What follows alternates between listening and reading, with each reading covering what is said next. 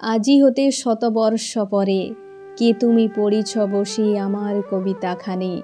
শত কৌতূহল ভরে, আজি হতে শতবর্ষ পরে।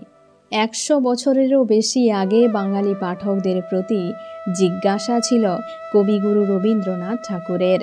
সেই চিরজাগরুক বাঙালির আত্মিক যুক্তি ও সার্বিক স্বনির্ভরতার প্রতীক বাংলা ভাষা ও সাহিত্যের উৎকর্ষের নায়ক কবিগুরু রবীন্দ্রনাথ ঠাকুর। বারোশো আটষট্টি বঙ্গাব্দের এই দিনে কলকাতার জোড়াসাঁকোর ঠাকুর পরিবারে মহর্ষি দেবেন্দ্রনাথ ঠাকুরের ঘর আলো করে জন্মগ্রহণ করেছিলেন রবীন্দ্রনাথ।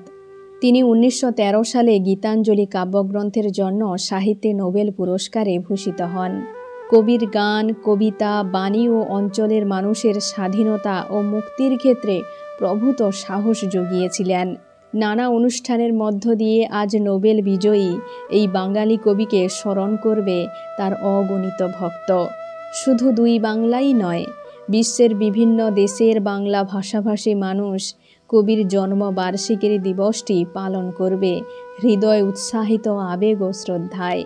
এই জন্মবার্ষিকী উদযাপনের অনুষ্ঠানে আমাদের প্রিয় কবিকে চিরকাল অক্ষয় আসনে বসিয়ে রাখব।